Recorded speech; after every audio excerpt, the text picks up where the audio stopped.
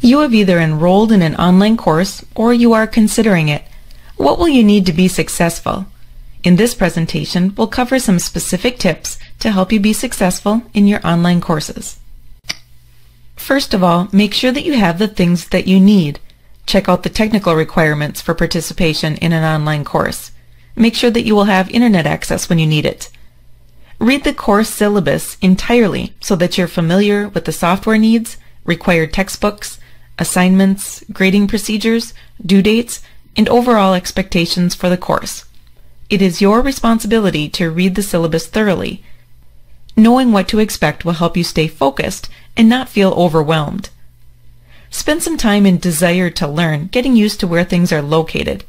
Then once your classes get underway, you won't need to spend a great deal of time just trying to figure out where things are located, like where to submit assignments or how to check your grades. Time management might be the most critical factor of your online success. With this in mind, you'll want to set a schedule and stick to it. Create a schedule for yourself that allows for three hours per credit for study time.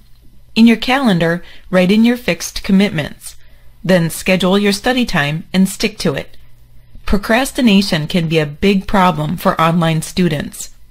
As you are studying, pay attention to how long you can effectively study in one sitting and how long it takes you to complete assignments. Use this information as you schedule your study time.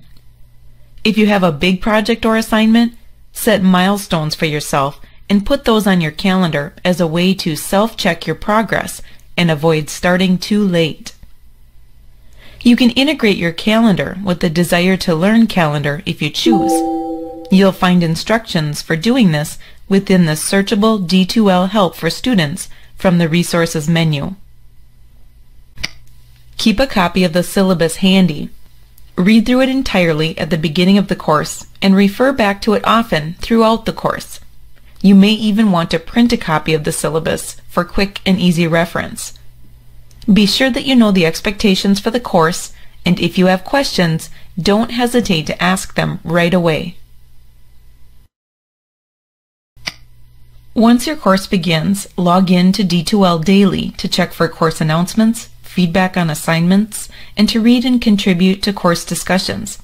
Also, check your campus email daily for any messages or announcements that may require your attention. Checking in regularly will make it easier to keep up.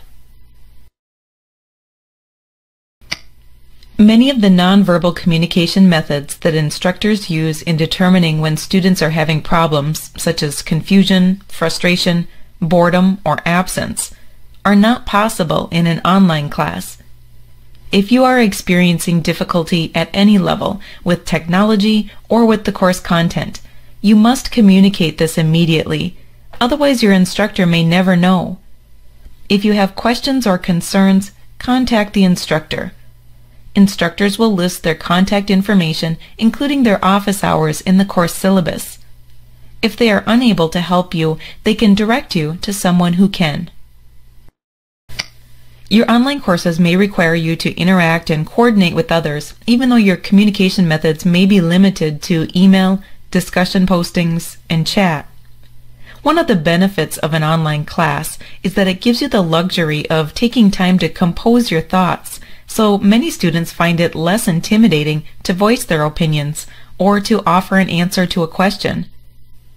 Not only is participation often required for online courses, you will find that the more you put into it, the more you get out of it.